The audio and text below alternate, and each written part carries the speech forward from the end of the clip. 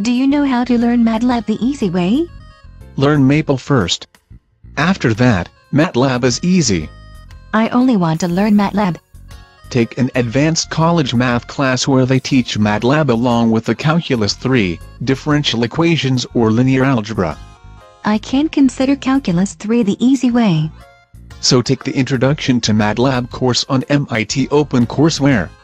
I'd need to know MATLAB just to calculate the cost of an MIT course. OpenCourseware is an open source, free online class. MIT still might be over my head. So take the online MATLAB tutorial by Utah State. Do you have to have the student version of MATLAB? Oh, you can always pay for the full version of MATLAB to practice with. Can you get MATLAB for free to practice with? You could sneak into some math lab and practice on their PCs, or you could try to buy the math textbook and software CD and hope it still works. Or I could buy the MATLAB for Stupid People books. You recommended it, not me.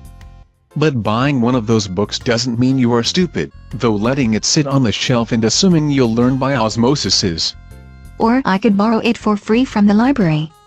That has the benefit of not requiring you to add up the costs in financial software like Quicken. The books are just an introduction. You'll learn more about how to use MATLAB by using the easy examples in MATLAB books or tutorials than trying it on your own and then struggling to debug it.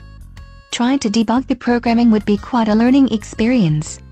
Only if you want to do it the hard way, and learn programming the wrong way.